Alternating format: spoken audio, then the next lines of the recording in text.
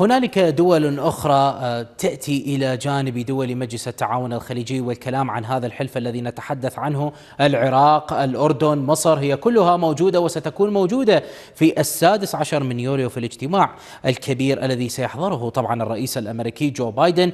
العراق وتحديدا رئيس الوزراء العراقي سيد مصطفى الكاظمي هو سيكون حاضرا في هذه القمة وهنالك كذلك مشروع قرار نشر قبل أيام قليلة وطرح في مجلس النواب الأمريكي. هذه الصفحة الأولى آه، المتعلقة به. وكذلك الحديث وهنا يظهر كما تلاحظ اسم العراق موجودا مع الأردن ومع مصر. وأنا أود أن أسألك عن العراق تحديدا لأن هنالك فصائل مسلحة موالية لإيران. ممكن أن تستخدم كبطاقة ضاغطة على الدول الخليجية وغيرها إذا ما فشلت المفاوضات النووية.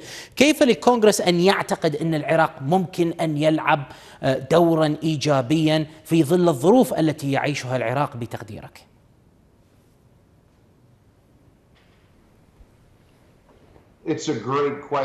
هذا سؤال عظيم. إن المدى الذي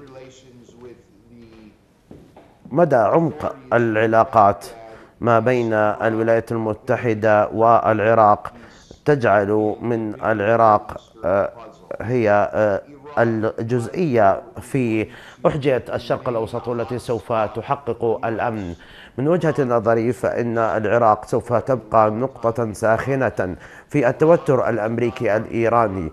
إيران ليست على وشك أن تغلق الباب آه، أو العراق ليست في وجه في بصدد إغلاق الباب في وجه الولايات المتحدة ولا إيران. القيادة العراقية تدرك أهمية الحفاظ على علاقة جيدة مع الولايات المتحدة ومع إيران. وسوف نرى المسؤولين على الجانبين في طهران وفي واشنطن يحاولون أن يؤثروا بالوضع في العراق من أجل تحقيق أجنداتهم ومصالحهم. ولكن وكما نعرف لعدد من السنوات السعوديون أيضا كانوا يحاولون أن يعيدوا العراق إلى المنطقة العربية وتحت جناح المنطقة العربية.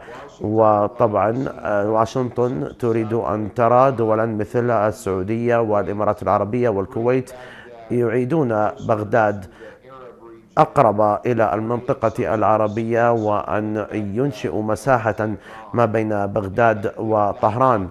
وأعتقد بأن هذا السياق مهم جدا أن نأخذه بعين الاعتبار وخصيصا في هذه الحالة التي تناقشها حضرتك.